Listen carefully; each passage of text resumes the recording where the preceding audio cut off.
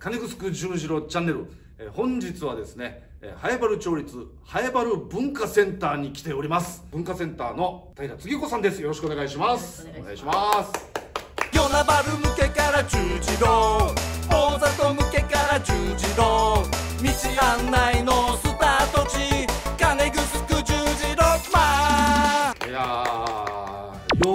く次子さんに出ていただけることになりましたよようやく来てくれました。えっとすいません50何回目に。そうですよね 秋のりもいます秋のりもいます。秋のりもいますはい秋のりもいます。秋のりいますね。はい。秋のりはもう最近はもうほぼカメラマンとして稼働しておりますんで、えー時々喋ると思いますけども、はい。はい俺と秋のりはつゆこさんが企画をこの文化センターが企画してくれた村屋っていうお芝居で出会った。うんあそうそうそうなんですよ。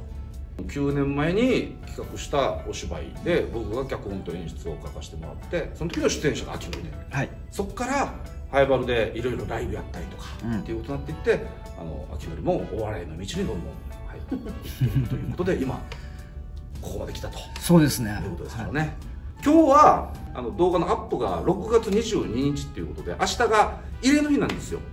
沖縄のね、えー大事な日の一つでもありますからその慰霊の日で特にまたあの沖縄の中のこのハイバルのお慰霊の日っていうね、まあ、沖縄戦っていうことをハイバルの視点からいろいろなんか聞けたらなと。それでちょっとね文化センターでで次子さんに話を伺いたいなと思ってきているということです。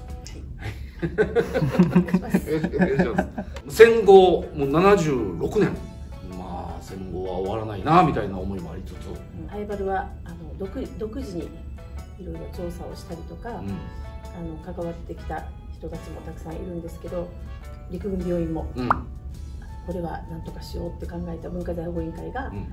あの文化財指定をするという全国で初めてのうん決断もした町でもありますのでやあっぱりあの沖縄戦に関することとか平和のことについてはやっぱりあの自覚してせ責任持ってというか、うん。そういう町であるべきかなというのをちょっとひしひしと感じていまして、ーうん。まあ、あの工夫しながらいうん。ろんな取り組みをしたいなと思います。あれが今残ってるっていうのはなんか今でもそうだし後々のもっともっと大切な財産になるなと思いますからね。うん。早原にある陸軍病院後に昔戦時中にいたという人が、うん。もう近寄れなかったと戦後。気持ちが。もうもうもう行きたくない。あっていうのがあった人がうん。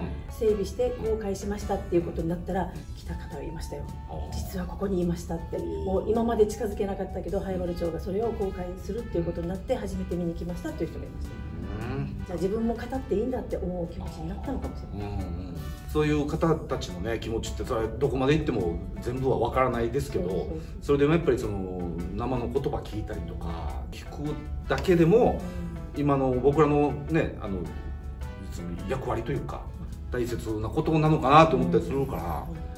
それで僕あのガイドです。そうなんですよ。2009年にその陸軍病院号軍の平和ガイドとして講習を受けてガイドになったんですよ。でハイバルのことを知りたいっていうことでガイドさせてもらったんですよね。でそそうですよね、はい今でもそのが平和ガイドの LINE グループには入れられてますけど。連絡は来るんですね連絡は来てますけどね、はいはい。その時にこれ多分次子さんから俺話聞いたことだと思うんですけど GO は今いろいろあの復元されたりとか補修されたりして残ってると。でも足りないものがあると。何か分かるねって聞いてそう分からないって言ったから匂いって言ってたんですよね。当時のその郷の中は血の匂い。で糞尿の匂い。それがもう充満してた。暗くて狭いだけでもきついのにそんな状態だったんだっていうのをとっても感じて。うん。でその後その匂いも再現したんですね。再現というか、はいはいはい。まあ、近い状態のも匂いの再現をするということをしてですね。のを、まあ、あのいろんな証言集にうん。こんな匂いがしたっていうふうに言葉で表現されてるのがあって、はいはいはい。そこで働いてた姫入り学徒の皆さんにもあの協力をお願いして、匂いを作る業者を探してう、ん。でこの匂いをこれでいいですかっていうのも当時の学徒に聞いて回って一生懸命作っているんですね。うん。でもこれは本当にちょっといろいろ話しましたよ。これ匂いしたからといって戦争はをややめましょうとかうん。あの当時が分かりましたって言っていいのかなとかねいろいろあったんですけど、うん。やっぱり五感にあの訴えるものの手段として、うん。匂いを再現したところまたなくて、でネネットでこう紹介したら「匂いだけ嗅げますか?」って「匂いだけ嗅ぐ」っていうのはさせないでおこうはいはい。だからちゃんあの必ず5に入ってそのイメージを膨らませるための手段としてうんやるものなのでっていうことで、僕は常にそのハイバルで起こったことというか沖縄戦でね本当にハイバルのはたくさんの人たちが亡くなってっていう話とかも聞いたりしてる中でそのやっぱりその自分のこうおじいおばあとかひいおじいとかひいおばあとか亡くなってる方たちがね、うんもうまあ近い世代だとお父さんお母さんとか兄弟とかもいらっしゃると思うんですけどそれが結局その沖縄戦っていうことを知るとか勉強って言ったらちょっとやっぱなんか重たくなるじゃないですか。なんかでもその自分の家族のことそのいわゆるウヤファー富士のその戦争のことを知るっていう感覚だったらやっぱりルーツを単純に知りたいというか、そういう感覚でねなんか自分事として捉えきれたらなんか興味持つのかなって思ったりしますけどね。そう。だからあの子どもたちにも、うん。あの県外の修学旅行生たちが来る時もあのあ沖縄の戦争の歴史ってこうなんか別のことをね新新たな勉強するみたいだけど、はい。いやあの今生きてる人たちは戦争に関係のない人は一人もいませんよって思うので,、そうで今生きてる人たちは戦争に関係のない人は一人もいませんよって思うので、そうで生き残った人たちうん。が頑張って戦後生き生きたから私たち生まれてるでしょ？みたいな感じがあってで県外の人たちも戦争がなかったかのように言う人もいるけどいやいやあなたたちのおじいちゃんおばあちゃんもうん。あのその時代生きてるでしょ？とかねなんかみんな関係あるんですよって言いたい。間違いなくありますからね。うん。あの戦争トラウマっていうことを聞いた時にとってもあこれはもう知っておくべきだったっていうのがあって一世代上の人たちの親っていうのは戦争の時にいろんなものを見ていろんな辛い思いもしてきた人たちがいるんだけどあんまりたくさんは語らないままあの戦後過ごした人たち戦後生まれの人たちで過ごすけど例えばうちのお父さんはとっても酒沼で暴力をしたとか、はいこの人の性格だと思って嫌なお父さんって過ごしていた人が実はこのお父さんがあの戦争の時子供で自分の目の前で自分の親が殺されたとかそういう体験があって誰にも言えないけど苦しい思いがあってそれがこう違う行動に出ていてっていう人がいたらしくてでそれもうそのお父さん亡くなりそれを知った子供がお父さんにこんな経験があると分かれば付き合い方が変わってただろうなお父さんをあんなに嫌わなかったのにうん。お父さんも辛かったんだなっていうことが分かったっていう話を聞いて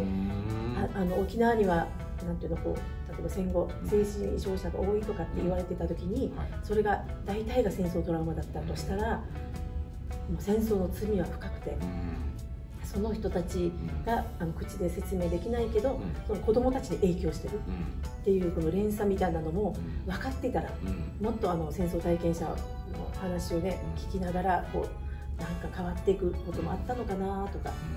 やっぱ今日お本当に重い話ではあるんだけど、はい。ろいろ修学旅行団たちも来るんだけどね、うんうん。嫌な気持ちとか悲しい気持ちにさせるためじゃなくて知らないよりは知ってた方がいいよっていう話だと思うので、そう。みんな知りましょうって言ってる。自分が殴られたら痛いって思うから人を殴りたくないんですよね。自分が痛いって分からないと殴りますよ。だからその痛さをちゃんと分からないと。うん。でそういう事実があったことを知らないとぱまた同じことを知っちゃいますよね。秋のりは、まあ、次子さんとはまたお俺ともまた世代が違うさはい。そうですね。沖縄戦に関しては自分から遠ざけてた感じはあります。今30歳はい30ですね。自分のおじいちゃんおばあちゃんに戦争の時の話聞いてきてねって先生に言われても、なんか嫌だみたいな。あ聞けないって言って聞かなかったのはあります、そうね、体験してないと重なってる体験じゃないとうん。人事になるからね、あもう一回あの号でね、なん。かが見えたらどうしようとかっていう中学生女の子たちがいたからここはいるはずよって言ったわけです、うんうん。はいてもおかしくないなぜかというと自分が死んだっても気づかないまま命を落としたりとか死にたくないのに死んでしまった人がいた号だからそれはいるかもしれない。でもこの人たちはもう話ができないよ。でもあなたたちに言いたいことがたくさんいると思わんねって言ったから一生懸命聞かないと一生懸命見ないとこの人たちは自分たちのことを伝えられないはずよって言ったからこの子が急にさ本当だねかわいそうっていうか怖くないって入ってくるであそういう気持ちはあるんだなと中学生うん高校生も。話せないけど自分たちが知ろうとしないといけないんだって。じゃあ昨日はい、そうですね。今 深く刺さってますね。僕まあ、はい。そういうのをでもそのあの一日でも考える日っていうのが、うん。沖縄まだあるわけさね、うん。こうやって慰霊の日っていうのが。ねそれがあるだけでも俺は大きいと思うしね、なんかその触れるチャンスはあるよねもしかしたら秋のりはこれ聞いても今今年も触れないかもしれないけど。触れます。触れます。明日明日触れます、ああはい、僕だから慰霊の日とあの七五八？あのお盆？はやっぱなんかちょっとね気持ちがちょっとこう変わるんですよね。なんですかね。なんか祖先とつながってる。かもしれないですよ本当に。やっぱねうん。たくさんいてちょっとこうなんだろう気分立っちゃそうっていうかなんかあの崇高な気持ちになるというかちょっとなんか空気が澄む状態になるというかうん。あんな感覚なんですよね。素晴らしい、うあんまり考えてない私。マジですか？あれ？いやいやいやこの共鳴できるかなと思って。いやいやいや そうであるべきだ。いやいや。なんかそんな感覚はな日と思ってるからね、うん、うん、かもしれないですね。で、えっと、ハイバル文化センターはこのさっきも言ってたけど慰霊の日をまたいであイベントがあるんですよはいはいはい。ね、毎年ね6月はやっぱり沖縄戦と平和に関するなんか展示会をしようと思ってテーマを書いてやるんですけど、うん。え物がつなぐ沖縄戦。ガマに入って物を集めてる人もいるかと思ったら、やっぱりこっちが戦績だっていうところをちゃんと考古学っていうあの学問をしてる人たちこう発掘をして丁寧にあの記録を取りながらやる人たちがいる。で同じものなんですけどでそれについてちょっと展示しながらいろいろ考えてもらおうかなと。うん。で印鑑とかですね例あえばあのまあ名前が書かれてる万年筆とか、そういうのをまたあの遺族に返したいって言って一生懸命やってる人たちもいるんですよ。なんか遺骨が見つからないのにそういう遺品が戻ってきたっていうことで、あの大事にしてくれてる人とかそれを届けようとする人もいるっていうことをちょっとあの物がね人もつないでるし、この時代もつないでるし、こう地域もつないでるかなっていうことでちょっとそういう展示をしたいと思います。足を運んでいただければと思います、お願いしますということで、はい。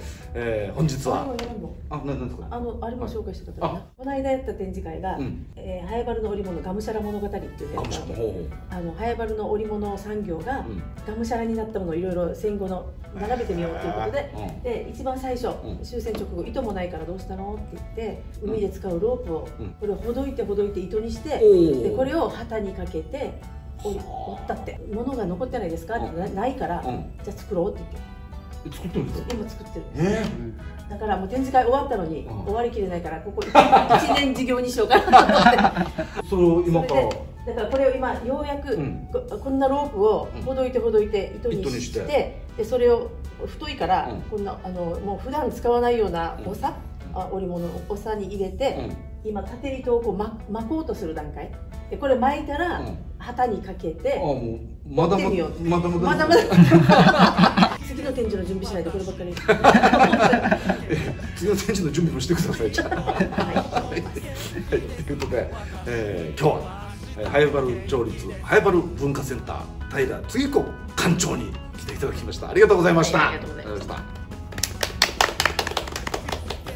ここで迷ってた。違和感感じて迷ってた。こんなところに道があるチャンネル登録よろしくお願いします。